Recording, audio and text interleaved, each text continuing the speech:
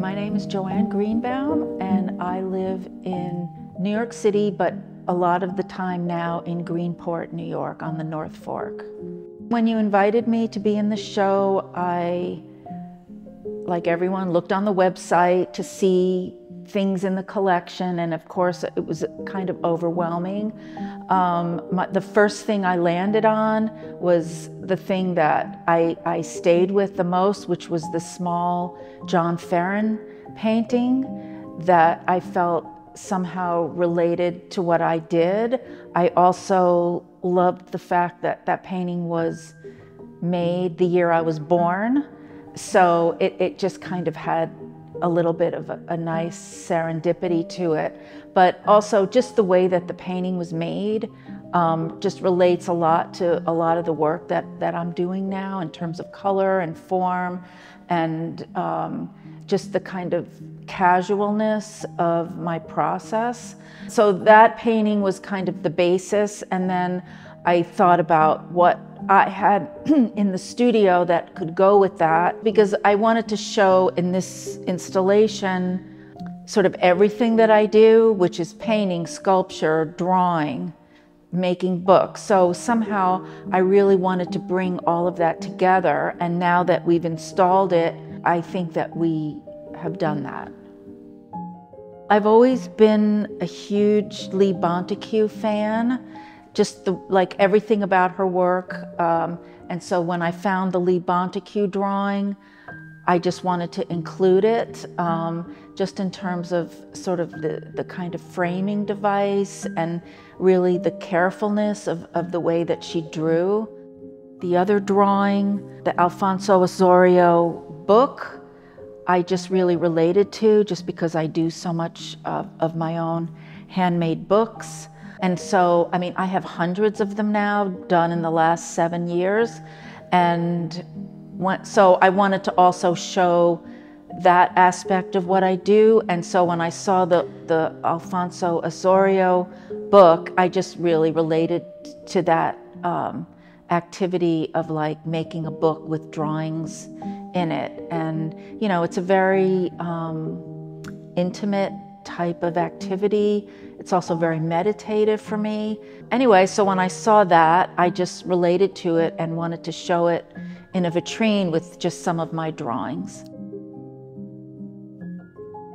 And the little Ray Parker painting, of course, uh, mostly because of the color and also because I just know that in my own studio, I have so many really small paintings that are just kind of sitting around that I kind of have this idea that the Ray Parker painting was something that was just sitting around his studio. I don't think, I have a feeling it was just kind of something that he might not have even intended to ever show.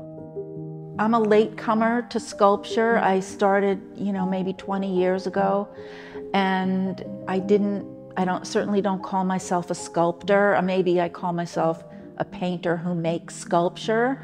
But I took a class at Greenwich House Pottery and I just kind of fell in love with clay and it just felt really like good physically to, to play with clay. So I got into it just because I was feeling that my paintings were very much about um,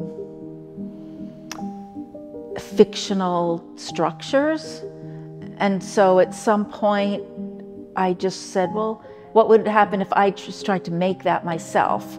So that's kind of how it came about. And now, you know, maybe even during the pandemic, because it was so quiet and I had so much time, I ended up making a lot, a lot of clay sculpture in my studio out here.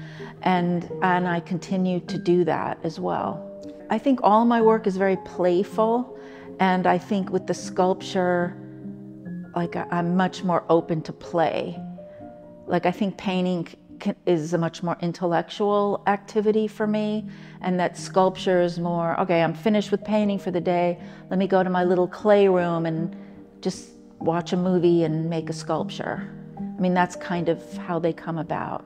When I was going through the collection online, I had seen I was looking especially for sculpture, and I saw this terracotta sculpture by Dorothy Frankel, and who I don't know, and I don't know her work, but I liked it just because I was making my own sculptures out of terracotta and not glazing them the way hers aren't glazed.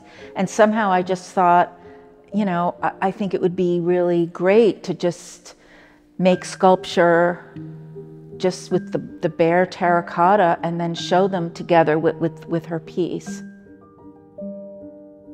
Alan Shields is somebody who, when I was in college, was somebody who people were talking about a lot. And I, one of my teachers um, was good friends with him. So, you know, I was just always looking at his work and I always thought, you know, because it was at the time, it was really different than a lot of the work that was was going on. Like it, it he worked with elements of craft, which I really liked. He also, you know, did a lot of things with fabric, with dyeing, and like this piece that I chose, which I think is made out of like paper and string. Um, it just I just related to to the just the idea of making things and being open to to to adding sort of craft into, into, into one's work. I mean, something that was always kind of not allowed in the in the art world was, you know, to add ceramics and sewing and fabric and crafts and craft materials in, into your work. Like it wasn't considered proper. I mean, now I have to say, you know, my favorite store is, is Michael's, you know, where you can just go in there and there's so many ideas just walking around Michael's craft store. And, you know, and I just relate a lot to, to his, his process of, of making things. It just seems like everything that I'm looking at in my selection has this idea of the frame or like a framing device and that I, I, love the idea of sort of the frame and then a collections of things that go in the frame. So, and collections of things that go in a frame doesn't have to be things, it can be marks, it can be gestures, but all of these things are kind of included in kind of uh, like a framing device. And I think that pretty much sums kind of everything that, that we've put in our, our selection. I think there's been a big correction in what I've seen in the last couple years at the Parrish.